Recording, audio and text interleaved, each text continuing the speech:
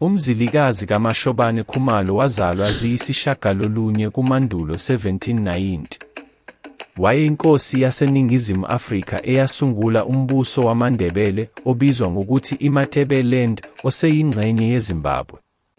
Wazalwa eyindodana kaMashobane kaMangethe ngaseMkhuze eZululand. Abaningi bamthatha njengomholi wezempi omkhulu waseNingizimu Afrika ngemuva kwenkosi yamaZulu uShaka.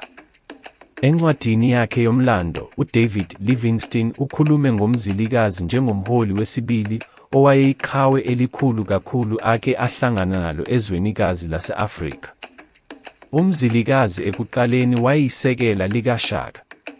Wasuka kwaZulu nesibaya esikhulu sezinkomo zikaShaka ngezikhathi ezaziwa kakhulu ngokuthi umfecane. Ekuqaleni uShaka wayesenelisile ukuthi umzilikazi usisebenzele kahle isizwe sikaZulu waklomelisa umzilikazi ngezinkomo namasosha kodwa emva kwesikhathi. Akuqondakali ukuthi umzilikazi weba izinkomo zikaShaka noma wazigasela ezizweni ezingomakhelwane.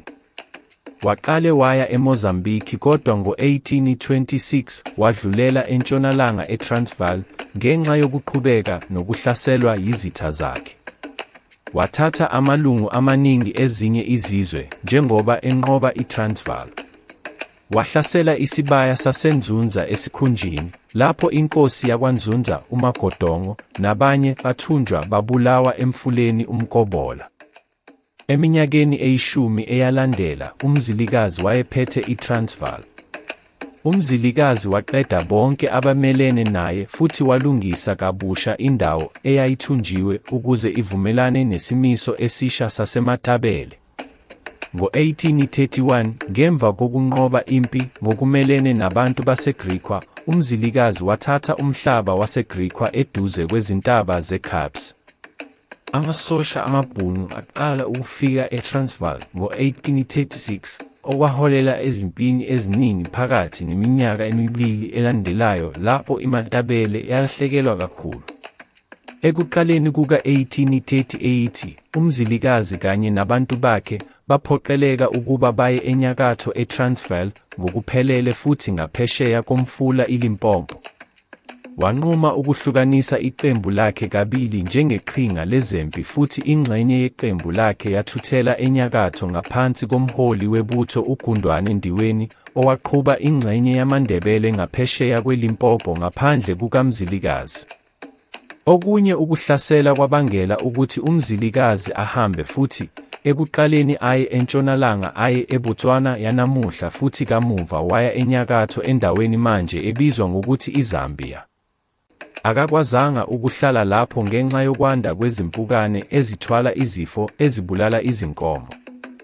Ngakho umzilikazi waphinda wahamba, kulokhu waya eningizimu mpumalanga endaweni eyaziwa ngokuthi yiMatabeleland eseningizimu ntshonalanga yeZimbabwe yanamuhla, wayohlala khona ngo-1840 lapho aphinde wahlangana khona neqembu elaliholwa nguGundwane Ndiweni.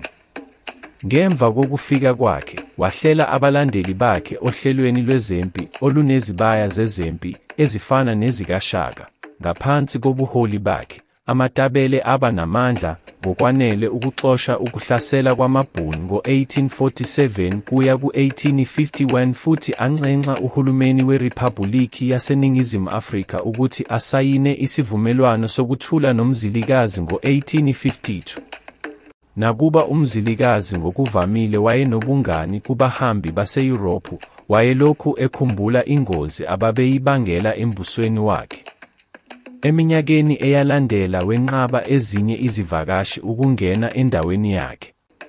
Abelungu abahlangana nomzilikazi bahlanganisa uHenry Hartley, umzingeli nomhloli wamazwe, Robert Moffat, isithunywa sevangeli, John Mackenzie, isithunywa sevangeli, uDavid Hume, umhloli wamazwe kanye nomhwebi, Andrew Smith, udokotela wezokwelapha, isazi se-ethnologist kanye nesazi sezilwane, uWilliam Cornwallis Harris, umzingeli, nomhloli wamazwe oyisithunywa sevangeli uDavid Livingstone. Ngemva kokuba ehlulwe amaBhunu, ngesikhathi isizwe sizulazula enyakatho yeLimpopo, umzilikazi wahlukaniswa nenqwaba yesizwe. bamnikela kuthiwe ufile badumisa indlalifa yakhe uNkulumane njengendlalifa yakhe. Nokho umzilikazi waphinde wavela ngemva kohambo olunzima esigodini saseZambezi waphinde walawula. Ngokokunye ukulandisa, indodana yakhe nazo zonke izinduna ezazimkhethile babulawa ngokuyala kwakhe. Inkolelo edume ngeyokuthi babulawa ngokujikijelwa eweni entabeni manje ebizwa ngokuthi yintabazinduna. Enye incwadi ithi uNkulumane akabulawanga kanye nezinduna, kodwa wabuyiselwa ebukhosini bakwaZulu nethimba elikhulu elalihlanganisa amaqhawe. Phakathi nohambo lwakhe oluseningizimu, wadlula endaweni yaseBakwena enyakatho ntshonalanga yeTransvaal eduze kwaseRustenburg. Ngaleso sikhathi abakwena babezabalaza ukuqeda ukuhlasela okuphindaphindiwe kwenkosi engomakhelwane eyathi ifuna indawo ababeyiphethe. uNkulumane wasiza abakwena ngokuhola impi yakhe empini lapho uNkulumane ebulala khona inkosi engumakhelwane. Ngemva kokunqoba lokhu, abakwena bakholisa uNkulumane ukuthi azinze endaweni yabo, bethi kwakungancedi ukuthi abuyele embusweni kaZulu ngoba izitha zikayise zingambulala. uNkulumane wazinza futhi wahlala nomndeni wakhe kuleyo ndawo kwaze kwaba sekufeni kwakhe ngo-1883. Ithuna lakhe liseRustenburg ePhokeng.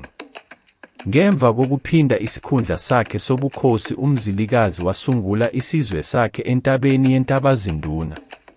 Kodwa ikomkhulu lakhe lokuqala lisenyathi lapho afika khona wahlangana nomngani wakhe omdala uRobert Moffat ayehlangane naye eTransvaal Republic ephuma eKuruman okwakungumnyaka lapho. Inhlobodolobha yakhe elandelayo yasungulwa eMhlahlandlela.